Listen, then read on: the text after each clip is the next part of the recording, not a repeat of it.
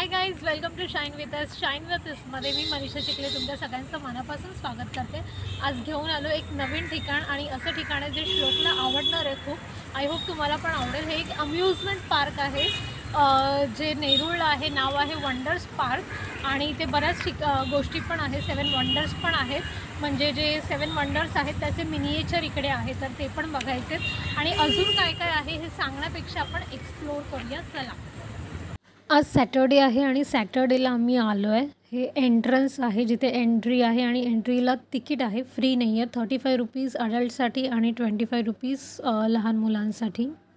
लहान मुलांमध्ये पण पाच वर्षापर्यंतच्या मुलांसाठी ते फ्री आहे. पण पाच वर्षांवरच्या मुलांसाठी पाच ते बारा वर्षाच्या मुलांसाठी पंचवीस रुपये फी आहे. तर एंट्री फी देऊन तिकीट काढून एंटर आम्ही केलेलं आहे आणि हा स्टार्टिंगलाच इथे बघितलं तर इथे लेफ्ट साईडला आतमध्ये असं जायला थोडीशी जागा वगैरे आहे. तिथून आम्ही आतमध्ये जातो आहे आणि लेफ्टच्या लेफ्टला छोटे छोटे मिनिएचर्स आहेत. तिथे माझ्या लेफ्टला जिथे लोक दिसत आहेत तिथे ते जे मिनिएचर्स मी बोलली सेवन वंडर्स ऑफ वर्ल्ड आहेत. जगाचे सात आश्चर्य तर ती आश्चर्य तिकडे दिलेली आहेत. आणि त्याच्यानंतर हे जे दिसतंय समोर इथे फिरायला वगैरे थोडी जागा आहे. आणि लेफ्ट साईडला त्या वंडर्सच्या पुढेच जिथे का मोठे व्हील्स वगैरे दिसत आहेत तिथे थोडं लहान मुलांसाठी राईड्स वगैरे आहेत. तर आपण इथून स्टार्ट करूया. हे आहे जगातलं पहिलं आश्चर्य. तर या पहिल्या आश्चर्याचं नाव आहे चिचेन इझ्झा आणि हे मेक्सिको शहरामध्ये आहे. तर याच्या पायऱ्या वगैरे ज्या दिसत आहेत साईडला त्या पायऱ्या आहे त्याचं आश्चर्य दोन्ही साईडला एक एक्क्याण्णव एक्क्याण्णव पायऱ्या आहेत आणि तीनशे पासष्टावी मध्ये वरती आहे. त्याच्यानंतर हे सेकंड आश्चर्य आहे क्रिस्सो रेदेंथोर आणि हा येशू ख्रिस्तांचा पुतळा आहे जो जगातला सगळ्यात मोठा पुतळा आहे. तर हा ब्राझील शहरामध्ये आहे आणि हा पण एक आश्चर्य आहे जगातलं की हा खूप सर्वात मोठा असा स्टॅच्यू आहे त्यांचा.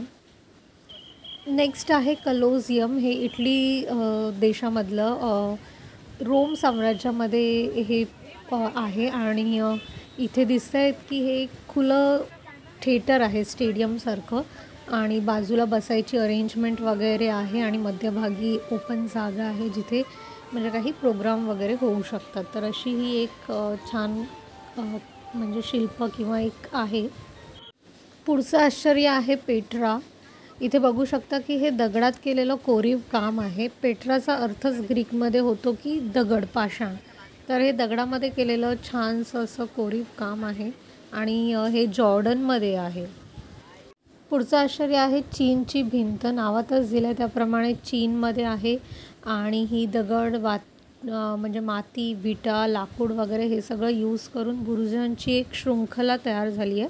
आणि ही बेसिकली म्हणजे परकी आक्रमण वगैरे किंवा घुसखोरी रोखण्यासाठी ती बांधली गेलेली आहे. आणि आपल्याला माहितीच आहे की तिला ग्रेट वॉल असंही म्हटलं जातं. नेक्स्ट आहे माक्सू पिसू हे दक्षिण अमेरिकेमधल्या पेरू देशातलं एक ठिकाण आहे आणि हे पण असं ऐतिहासिक वारसा लाभलेलंच ठिकाण आहे. तर हे पण जगातल्या सात आश्चर्यांपैकी एक आश्चर्य आहे. त्याचं बांधकाम आणि असं जे काही म्हणजे आहे रचना ही खरंच एकदम वेगळी वाटते. आणि पुढचं आश्चर्य आहे आपला ताजमहाल जे सगळेच ओळखतात. ज्याच्याबद्दल मला ज्या काही फार सांगायची गरज नाही आहे ही सगळी आश्चर्य आहेत ती खूपच छोटी आहेत म्हणजे खूप मिनिएचर आहे ते. बाकी आश्चर्यांचं तर काही माहीत नाही पण ॲटलिस्ट ताजमहाल तरी आपण स्वतः जाऊन बघितलाच पाहिजे. बाकीचे म्हणजे ठीक आहे जिथे आपण जाऊ शकत नाही त्याचं एक आपल्याला प्रतिकृती इथे बघायला मिळते. तर छान आहे सुंदर आहे एक वेगळं एक अनुभव आहे. आणि इथे पुढे गेलं तर लहान मुलांसाठी खूप राईड वगैरे आहेत. पण प्रॉब्लेम हा झाला की आम्ही पावसाळ्यात गेलो होतो त्यामुळे या राईड्स सगळ्या बंद होत्या.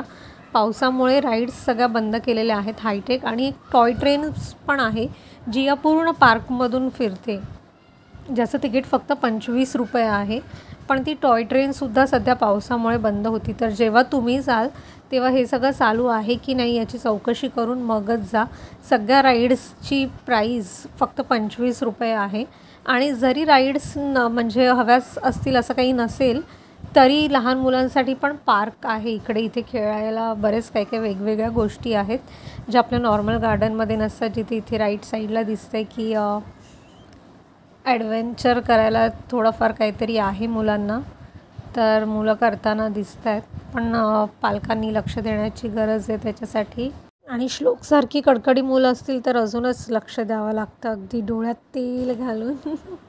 त्याच्यानंतर ह्या वेगवेगळ्या छोटे छोटे स्लाईड्स वगैरे दिसत आहेत आणि सॅटर्डे असल्यामुळे खूप जास्त गर्दी आहे इकडे. बघू शकता की लहान मुलं म्हणजे मोस्टली लहान मुलंच आहेत सगळी त्यांच्याबरोबर त्यांचे पालक वगैरे आलेत. आणि हा बाहेरचा एरिया आहे. आणि इथे समोर दिसतंय ते फूड कोर्ट आहे. सोमवारी हे बंद असतं तर हे पण एक नोट करून घ्या. खूप मोठा एरिया आहे हा खूप चांगला परिसर आहे.